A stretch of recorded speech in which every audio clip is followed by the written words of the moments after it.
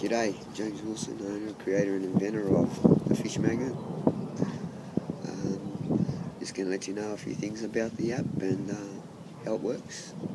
Um, the app is actually designed on natural instincts of the fish. And uh, when you're out fishing, whenever you see a fish that's been injured by a predator, you'll see the vibrations it causes in the water. And uh, vibrations are picked up by the lateral line fish, and uh, that's what we're working on natural aggression and natural prey, and any natural signals that are given off by the things like that. So uh, that's exactly how this thing works. The app has two different themes on it.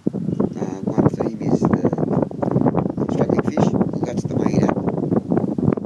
Uh, the other app's just a bonus, but the main app is the struggling fish. That's why it's called the fish magnet. And the struggling fish is very simple to, to use.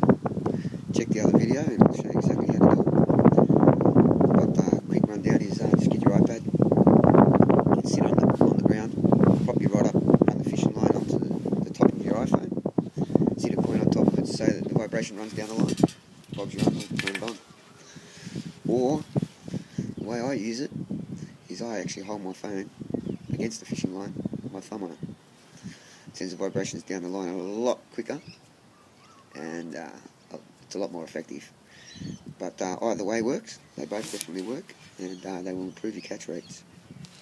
Uh, there's a crayfish theme on there as well.